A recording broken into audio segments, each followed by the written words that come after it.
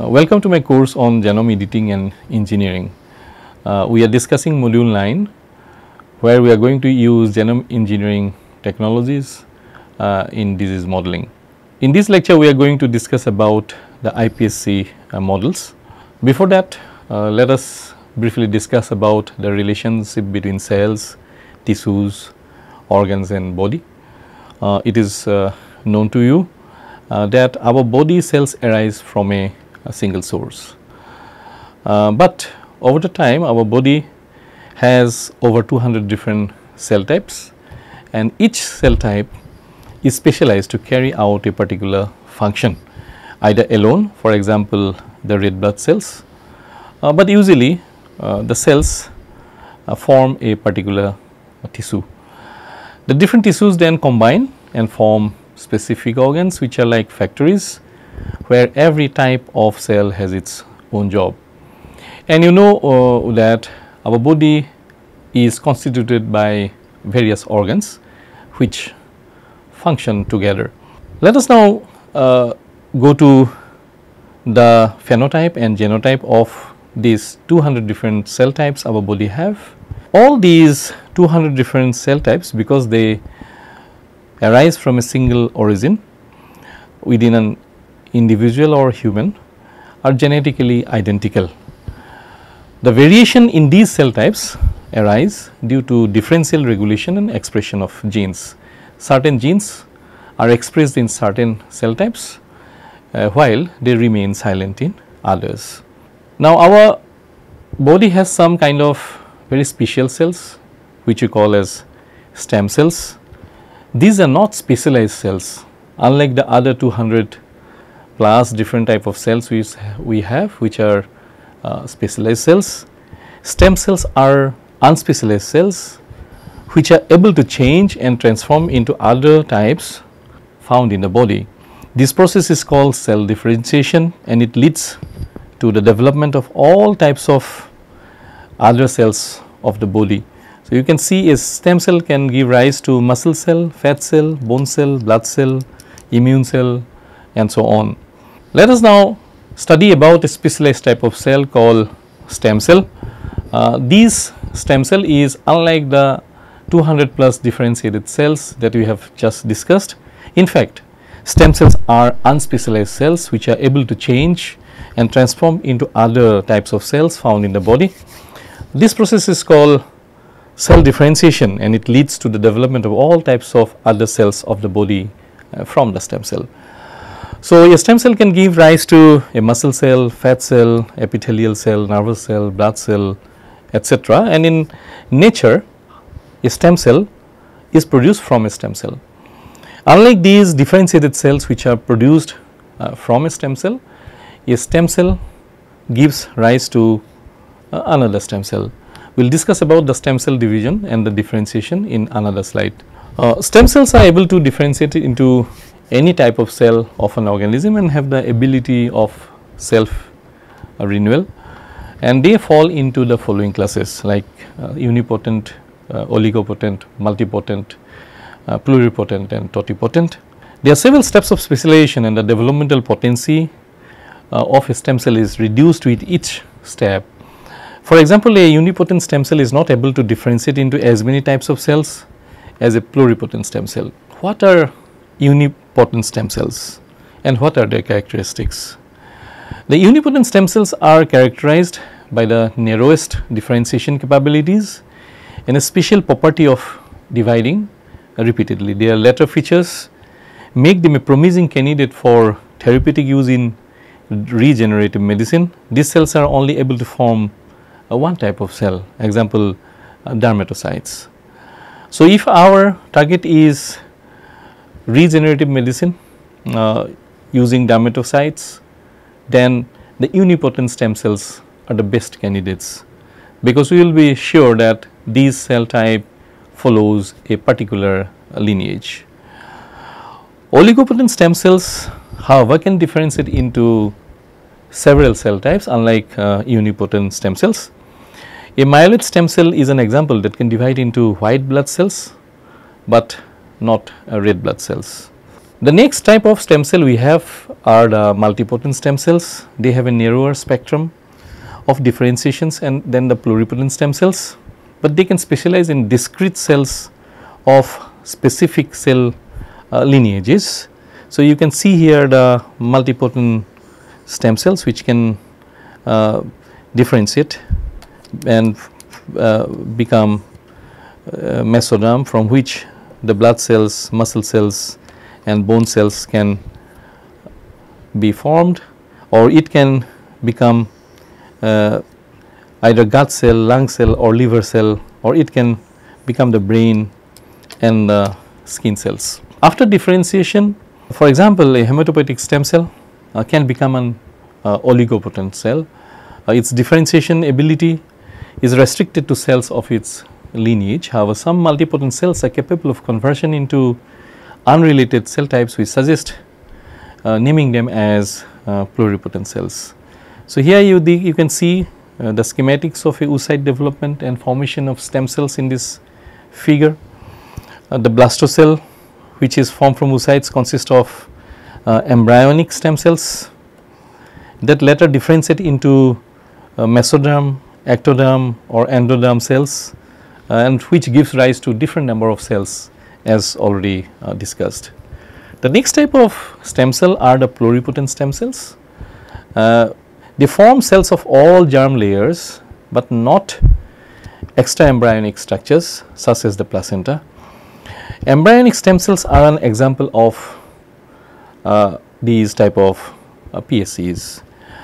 The ESCs are derived from the inner cell mass of pre-implantation embryo Another example is induced uh, pluripotent stem cell which is the focus of today's lecture and these are derived from the epiblast layer of implanted embryos, but there are certain chemical treatments or uh, other kind of uh, interventions through which these are generated.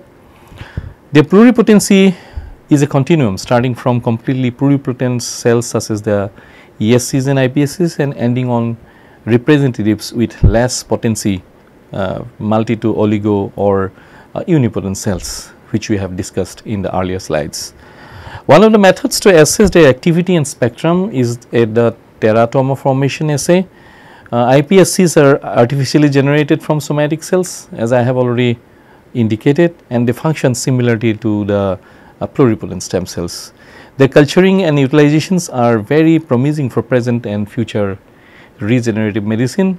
In this lecture, after the discussion on the basic of stem cells, we will be discussing about using genome editing technology uh, in, in conjunction with iPSC uh, for creating uh, disease models.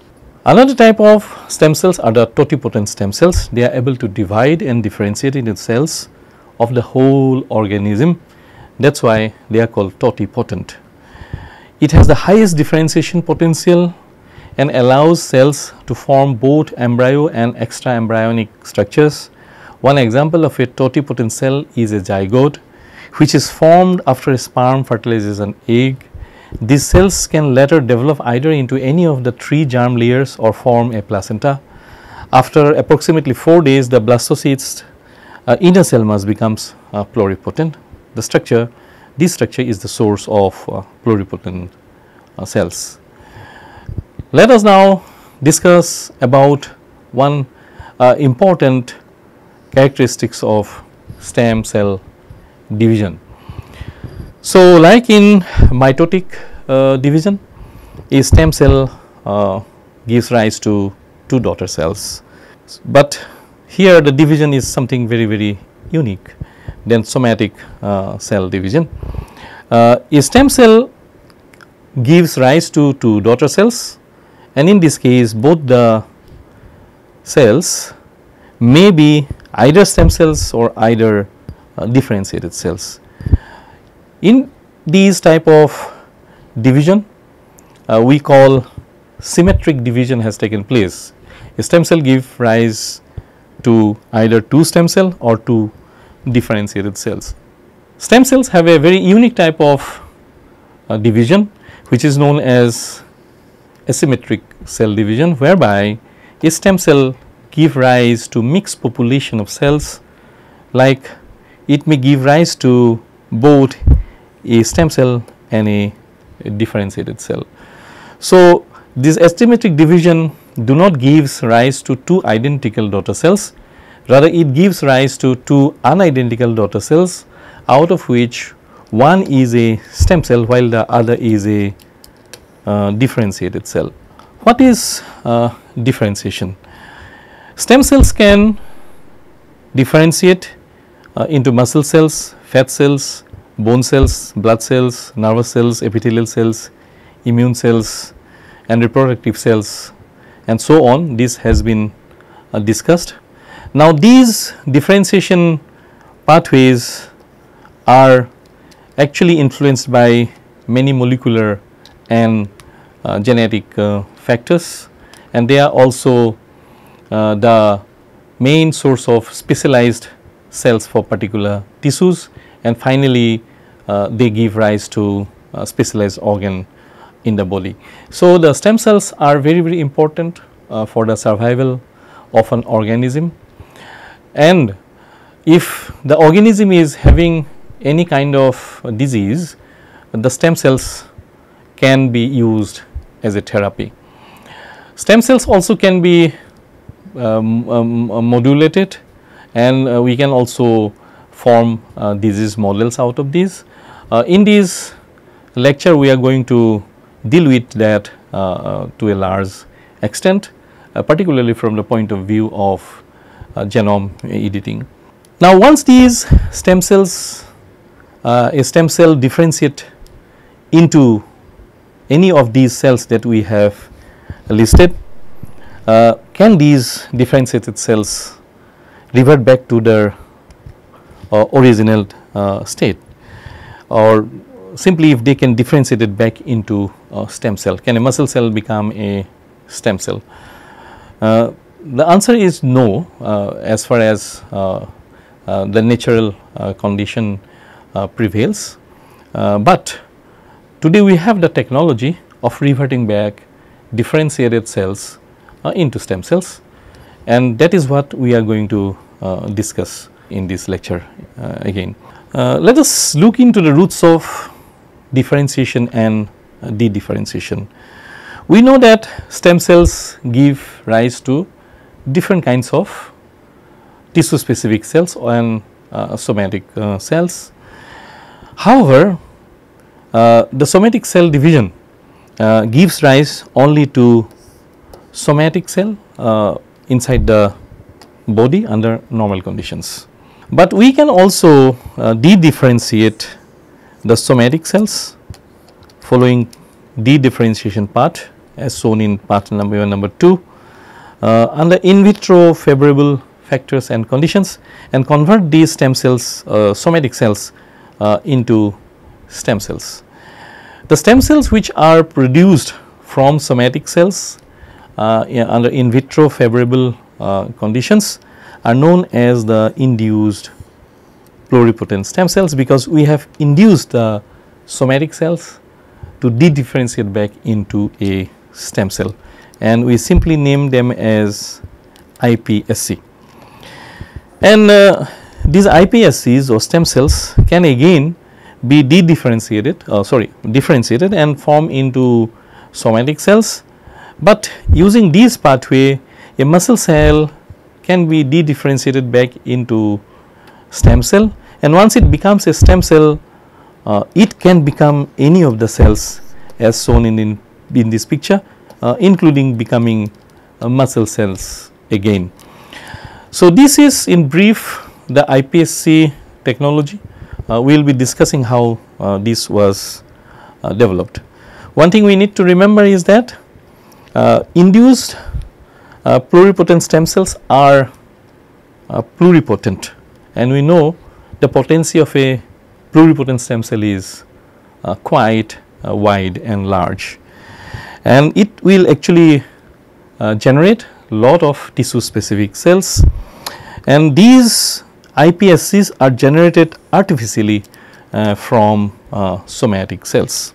So, these pictures uh, tell us about the changes in the potency of stem cells in human body development and we already have discussed about the various potencies starting from uh, unipotent to oligopotent uh, to multipotent to pluripotent to uh, totipotent. Uh, the potency ranges from the pluripotent cells of the blastocytes to unipotent cells of a specific tissue in human body such as the skin, central nervous system or bone marrow. A reversed pluripotency can be achieved by the formation of induced pluripotent stem cells using either octamer binding uh, transcription factor OCT4, sex determining region Y, SOX2, Kruppel like factor 4, KLF4 or the uh, gene. So, you can see here a zygote uh, giving rise to the embryonic stem cells which are uh, pluripotent and as uh, time uh, progresses and differentiation uh, stages uh, progresses, we have different kinds of cells and tissues and organs uh, being formed in this developmental uh, process which gives rise to a, a complete adult uh, from a, a, zygote.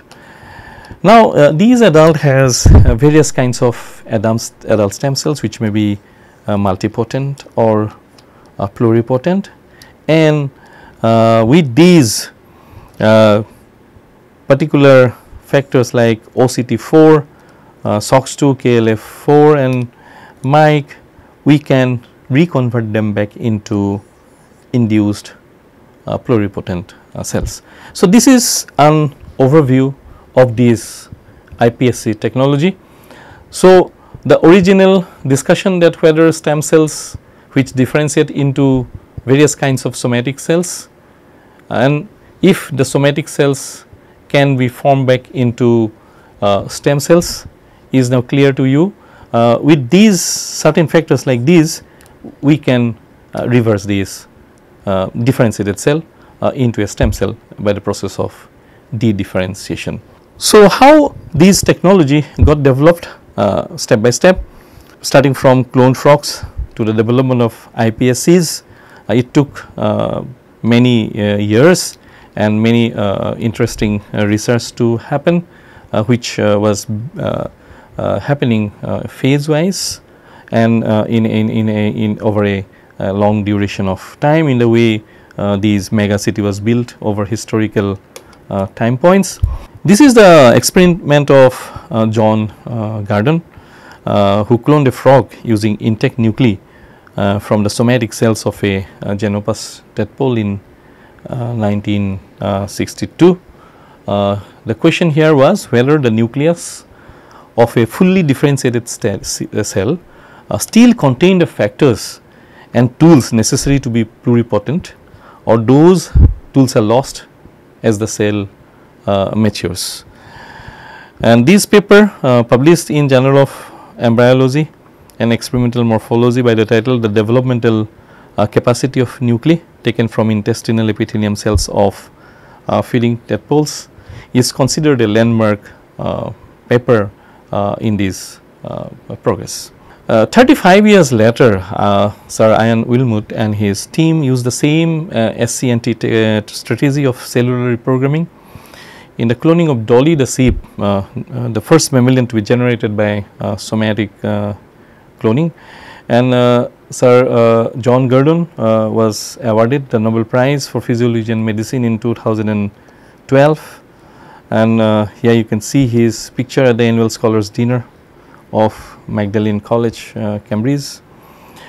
Uh, the scientific breakthroughs in somatic cloning established that the nuclei of differentiated somatic cells contain all the necessary genetic information to generate a whole organism thereby answering the question whether the nucleus of a fully differentiated cell still contain the factors and tools necessary to be pluripotent or whether these tools are lost. The tools are not lost, they, they have the information genetic information uh, to generate a whole organism and the egg cell contains the necessary factors uh, to bring about such uh, reprogramming.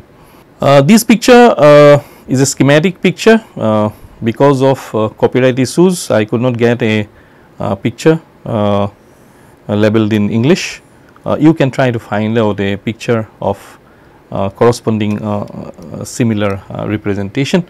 Let us now discuss about the development of mouse embryonic stem cell stem cells and cell lines.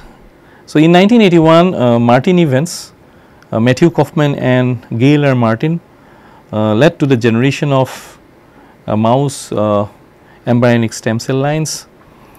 Gail Roberta isolated pluripotent stem cells from mouse embryos and coined the term embryonic stem cell which is now simply referred to as uh, ESCs. She observed that the cells clumped together in a manner similar to that of and developing embryo and the, the cells outside the clump uh, look different than the cells inside the clump. Those differences were similar to the germ layers that embryos formed during development. She called those clumps of embryonic stem cells embryod bodies because they were conglomerations resembling uh, embryos. She also determined that injecting mice with embryonic stem cells caused tumors to form at the injection uh, location. So, this is the paper on establishment uh, in culture of pluripotent pluripotential cells from mouse embryos by Evans and uh, Kaufman. later Shinya Yamanaka and Takahashi developed the mouse induced pluripotent stem cells in 2006 through the use of a retrovirus to deliver into a somatic cell which was a mouse fibroblast a combination of 4 reprogramming transcription factors. These are known as the OSCOM cocktail uh, and uh, these are already uh, discussed earlier. Uh, you have the octamer binding transcription factor 3 by 4, uh, SOX2 the sex determining region Y box2, uh, KLF4 or Kruppel like factor and CMYC which has been nicknamed. And these remarkable work was published uh, in, in the journal Cell and the success of these experiment Yamanaka experiments made the ethical debate about pluripotent stem cell research uh, largely obsolete as they established a robust method to derive human pluripotent cells without the use of use of human embryos. Earlier to obtain the uh, human uh, pluripotent stem cells, uh, the embryos were considered as the uh, important or primary source and uh, uh, handling or working with human embryos was uh, very very controversial and having many ethical and, and legal issues. Now since these development of the Yamanaka technique or experiments those kind of uh, issues were settled for once and all. Uh, we can take any uh, somatic cell like a mouse fibroblast or a skin cell and then can de-differentiate them with uh, reprogramming transcription factors called OSCOM uh, factors and generate pluripotent stem cells. Uh, the IPC technology promised to solve uh, complications uh, to that were anticipated from immune rejections as well of heterologous human embryonic stem cells derived tissues as it would allow for the generation of patient specific autologous pluripotent cells and uh, the uh, derived tissues. Not only the legal or ethical uh, problems were solved by this uh, technology, but it also addressed the biological uh, problems uh, like immune rejection. So, it is a really a landmark discovery and it, it changed the course of science in a big way. Yamanaka and Takahashi quickly demonstrated that the same set of factors uh, capable of reprogramming mouse cells also worked in uh, human cells. So, uh, this was one of the biggest discovery. So, we can uh, de-differentiate our somatic cells into the stem cells and from those stem cells we can generate multiple uh, tissue specific cells and those tissue specific cells uh, can be uh, of various kinds can be assembled together to uh, form different organs. So, the science of regenerative medicine got a big boost by the uh, by this kind of disruptive uh, uh, innovation or technology. Interestingly, numerous experiments in the last couple of years in mouse and human cells also revealed that combinations of other sets of transcription factors can be equally potent in, in reprogramming cells to a pluripotent state.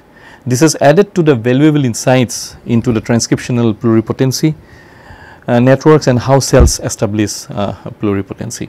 In 2007, Yamanaka and associates applied the uh, reprogramming method for adult human fibroblasts to generate human iPSCs and uh, James uh, Thompson's group reported the generation of a human um, uh, uh, induced pluripotent stem cells using a different delivery system the lentivirus and a different set of uh, four factors OCT3 by 4, SOX2 NANOG and lean 28.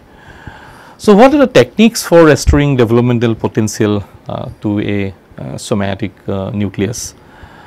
Uh, you have various uh, techniques for this like uh, nuclear transfer, cell fusion, direct reprogramming and cell explantation. in nuclear transfer, the genetic material of an oocyte or zygote is replaced with that of a differentiated cell such as a fibroblast following development to the blastocyte stage pluripotent anti-ES cells can be derived as far as from the uh, fertilized embryos. So, the advantage here is uh, indistinguishable from embryo derived uh, embryonic stem cell. The disadvantage is that technically quite challenging sources for oocytes and zygotes uh, also having certain uh, disadvantages. The next technique is uh, cell fusion. So, here you have a fibroblast and a embryonic stem cell if we fuse it they become a tetraploid uh, embryonic uh, stem cell. Uh, this is a technically very straightforward method and the disadvantage is that the fusion is sometimes inefficient and the reprogrammed cells are not diploid, but uh, tetraploid. So, hybridization between the embryonic stem cell and the somatic cells yield these uh, tetraploid uh, embryonic stem cell lines, uh, but they are not uh, uh, diploid that is the biggest program. In the direct reprogramming the retroviral mediated introduction of a small number of transcription factors is sufficient to confer a a pluripotent stem uh, cell, uh, uh, somatic cell into a pluripotent phenotype. So, here this fibroblast got converted due to this direct reprogramming through retroviral delivery of factors into a induced pluripotent cell. This is also technically very straightforward or simple and it gives autologous uh, Uh, to fibroblast uh, donor. So, the problems of uh, uh, immune rejection and uh, compatibility is uh, addressed straight forward here. However, disadvantage is that it uses oncogenic retroviruses and transients. So, it may have some kind of potential harm in the future. Another method of restoring developmental potential to a somatic nucleus is through cell explantation. Uh, for example, explantation of testis tissue from neonatal and adult mice into appropriate culture conditions has been shown to result in the production of multipotent and smart, smart uh, spermatogonial uh, cells or mast cells. This method also uh, technically straightforward gives fully autologous uh, to donor and disadvantage is that limited sources and uh, therapeutic uh, utility and it carry uh, male germ uh, cell imprints. Look into this uh, uh, picture which is giving a symmetric representation of Waddington's epigenetic landscape and there is a fine line between tumorigenesis and regeneration upon in vivo reprogramming.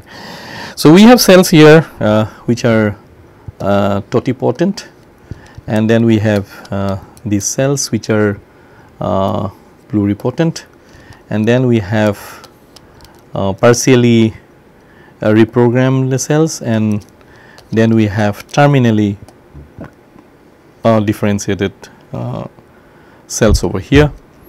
The lighter sets represent de novo cells generated by reprogramming events.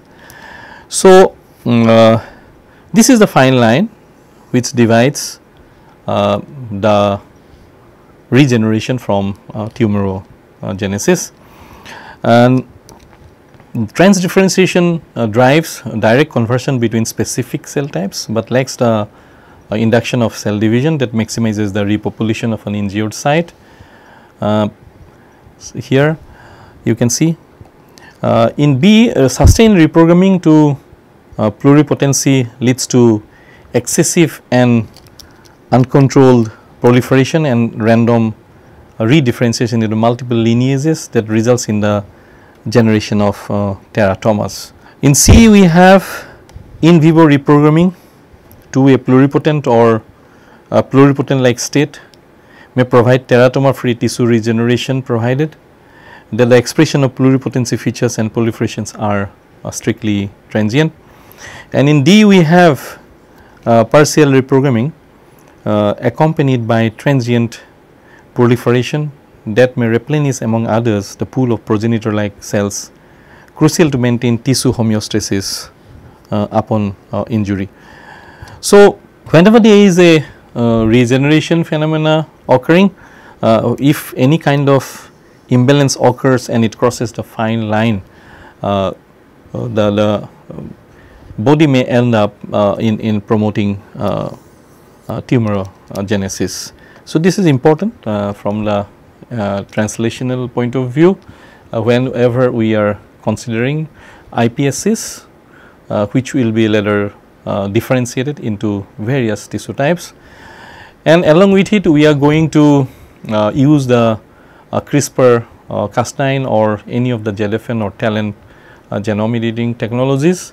So, any of these uh, technologies uh, having some kind of element or factor which can drive a, a, a iPSC towards uh, the tumorigenesis uh, has to be considered in the overall uh, scheme of things.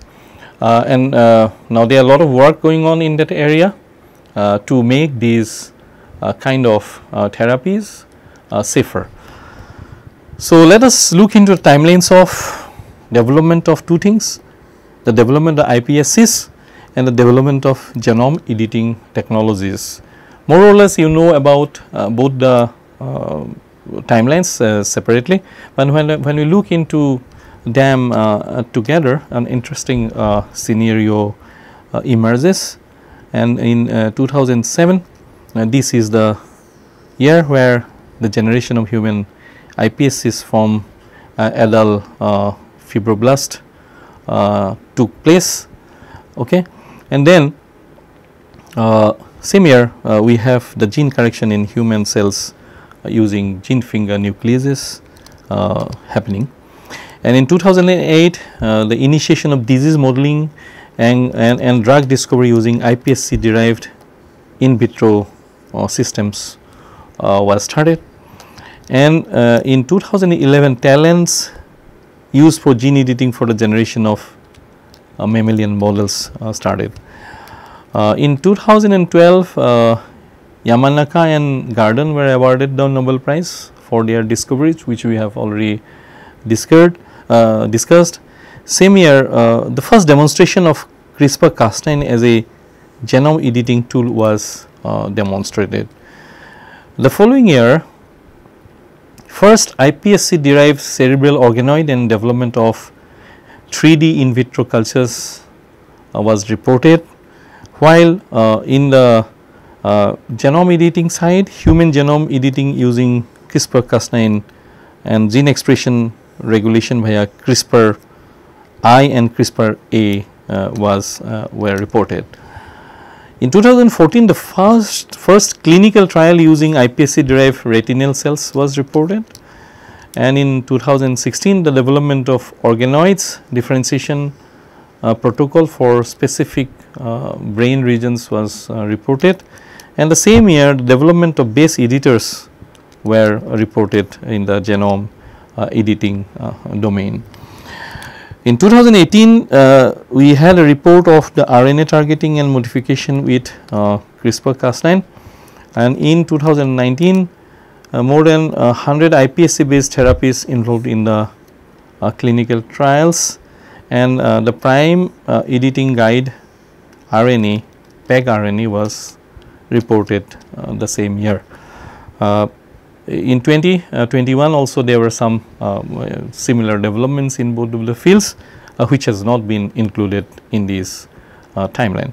Uh, starting from the basic biological studies on uh, human induced pluripotent stem cells, uh, CRISPR-Cas9 system has been used in different ways uh, depending on the purpose of the research as follows. Uh, gene knockout is mainly applied to study gene function because it is the most used tool to establish a connection between a biological event and the upstream molecular uh, mechanism.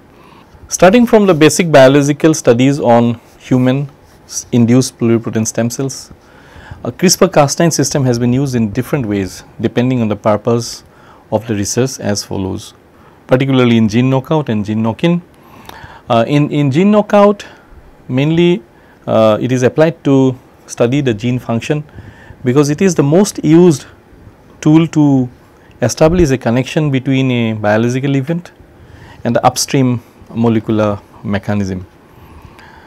Gene knock-in with the introduction of an exogenous nucleotide sequence is typically responsible for the identification of specific markers in stem cells uh, research.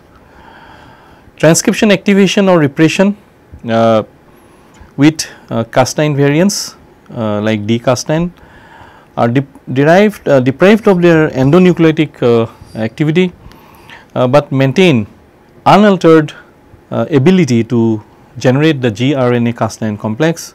Uh, these variants could be fused with transcriptional activator or suppressor in order to modulate the transcription of endogenous genes. In the case of genome wide screening, gRNA libraries provide a large volume of genes for analyzing results through sequencing data, while RNA interference libraries knock down gene expression at the mRNA level. CRISPR-Cas9 is able to target gene knockout or uh, the transcription uh, inhibitors. Let us see the workflow of research involving human induced pluripotent stem cells and uh, CRISPR-Cas9 gene editing for the investigation of new drugs and therapeutic uh, uh, alternatives. So, we have a healthy person here and an affected person here uh, cells are taken from the healthy persons as well as the diseased persons and after reprogramming we have the wild type uh, human iPSCs and the affected uh, human iPSCs. And these are uh, used for CRISPR-Cas9 gene editing experimentation where we go for knockout, knock-in, uh, transcription activation or repression or uh, genome wide uh, screening as discussed in the earlier slide and they are used for drug development and monitoring of the uh, protein doses uh, in, in, in drug screening then in uh, gene therapy and also for immune uh, response uh, strategy. So, this is overall is workflow of the research involving uh, human iPSCs and CRISPR-Cas9 gene editing system. The many applications of CRISPR-Cas9 on human induced pluripotent stem cells have already been uh, developed and uh, there are many uh, therapeutic strategies already reported. Uh, for a detailed discussion on these type of uh, developments, you may uh, read uh, Demarcy et al. Human Genomics 2020. And briefly we can see what are the progress happening in the area of drug development or gene therapy or drug screening. in the case of uh, drug development, uh, evaluation of PEPT1 mediated intestinal absorption has been studied and intestinal epithelial like uh, cells has been used for the uh, human uh, iPSC uh, derivation. In other cases uh, they have used neurons and interneurons or even in certain cases hepatocytes then macrophages and natural killer cells. So, uh, this is the genome editing that was done uh, in this column you can see uh, peptide transporter 1 PPEPT 1 knockout iPSCs uh, were developed. Here correction of COX2 mutation was done. In these particular case for example, correction of COL7A1 mutation was done and uh, in this case uh, the Duchenne uh, uh, muscular dystrophy which we have discussed several times earlier, DMD exon 44 uh, knock-in was uh, conducted. So, these are the various uh, genome editing being done in, in, in this type of systems and you can see the corresponding outcome for example, in PEPT1 knockout iPSCs uh, it is setting the basis for the development of peptide and peptide mimic drugs as possible substrates of PEPT1. Uh, in the uh, case of DMD exon 44 knock-in uh, with respect to uh, Duchenne muscular uh, Uh, dystrophy. Restoration of full protein coding uh, region uh, was done with this CRISPR-Cas9 editing. Similarly, in immune response strategy against HIV infection, you can see we have discussed in length about the uh, uh, 32 base pair uh, deletion in uh, CCR5 gene both in the case of ZFN, TALEN and also in the CRISPR-Cas9. Here in these CRISPR-Cas9 genome editing the outcome was the generation of immune cells which are resistant to HIV infection and this is all uh, known to you. And then there are uh, other uh, applications like building a cell platform to test the capacity of candidate antiviral compounds in the case of SARS-CoV-2 infection uh, which is the current challenge uh, to this world. So, you can see that uh, this technology uh, which involves uh, CRISPR-Cas9 application on human induced pluripotent stem cells has a big potential and uh, not only the other cases even current uh, challenges like SARS-CoV-2 infection uh, has been attempted to be you know solved through this kind of technological approach. So, this table shows some success of non-somatic human pluripotent stem cell uses in uh, hematopoietic uh, research. Uh, for full details you have to refer to this paper in uh, blood research published in 2014 and the corresponding references against each and every success uh, story uh, is uh, listed over here which can be easily assessed in the article published in this uh, research paper in blood research. So, success of blood lineage differentiation from human embryonic stem cell and human induced pluripotent stem cells and the success target has been a hematopoietic stem cell, erythrocyte, mature B cells, T cells, natural killer cells, macrophages, dendritic cells. And this uh, tells us about the success of iPSC generation from uh, blood lineages uh, with respect to the targets hematopoietic stem cell, mature B, T cells and in the case of disease modeling which is the main focus of this lecture we have quite a number of success stories. Uh, for example, the sickle cell anemia, Fanconi anemia, uh, JMML, uh, CMAT and uh, so on and full details available in these uh, references. Let us now have a discussion on the patient specific iPSC uh, disease modeling and cell based uh, transplantation therapy. Here you can see uh, the mononuclear uh, cells uh, from patients are used for generating iPSC. So, you have a patient over here and blood and fibroblast samples for example are, are taken. And then depending on the source of cells both memory contained cells such as mature blood cell and memory lacking immature cells uh, mediated iPSCs are generated. And these are the reprogramming factors uh, OSCAM uh, which we have discussed earlier. And uh, you can see here tissue memory contained not contained in the iPSCs. Okay. The subsequent differentiation from patient specific iPSCs can be directly used for personalized cell based therapy with proper cell lineages such as blood, muscle and neuron.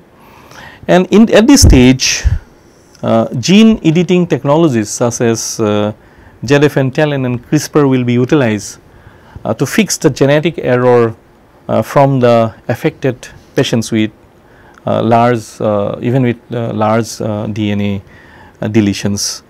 And we know that CRISPR Cas9 has been now can be modified and, and developed into dCas9 onto which uh, various functional modules can be uh, loaded and then convert it into uh, different uh, functionalities like editing functionalities and so on. So, this picture overall gives us a idea how uh, both the technologies can be merged together and then uh, its potential can be exploited to the fullest extent. So, here we have the iPSC mediated disease treatment. Now, in the case of uh, disease modeling, we may take a normal patient cell line, uh, normal person cell line and then in a similar way uh, de-differentiate it uh, into a iPSC and through the power of genome editing uh, create the errors uh, which causes the disease. So, this is just that would be the just a, a reverse approach. Now, let us discuss something about uh, precision medicine. So, we have a uh, patient uh, population and uh, they have certain genetic defects maybe or uh, diversity. So, there is a kind of a uh, genetic counseling being done. And then from these particular population we get patient derived models which we may go for ex vivo genome editing. And then these are subjected to preclinical studies for uh, in vivo validation. And then the patient stratification and tailored approach uh, to the treatments uh, is the key in these uh, particular cases because uh, you can see here uh, this population is not homogeneous it is heterogeneous as represented by various colors color coded and then uh, every type of patient um, uh, depicted by the color coded may have a uh, different kind of a resulting model for a particular disease. For example, here it's it's a symbolic for the neuronal disease in a way. And then when finally the treatment is developed, you can see the corresponding treatments which are tailor made or customized for the particular uh, population as per the color code uh, for symbolic representation here shown are developed. So, uh, here uh, the, the patient are different uh, divided into various classes or stratified and the treatments are also accordingly uh, tailored for each and uh, every patient.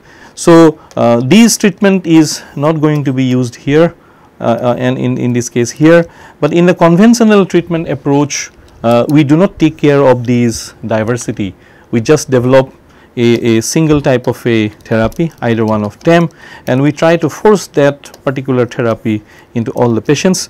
So, in such cases only some uh, population in which uh, they have the uh, compatible uh, therapy uh, would respond positively while the others will not uh, respond at all. So, um, in, in iPSC precision medicine iPSC and gene editing techniques can lead to advances in understanding uh, disease mechanisms through in vitro modeling and in the development of novel personalized uh, therapies. Uh, genome editing of patient cells in conjunction with assessment of efficacy and toxicity uh, in in vivo models allows uh, the presence, uh, patient stratification and a tailored approach to treatment.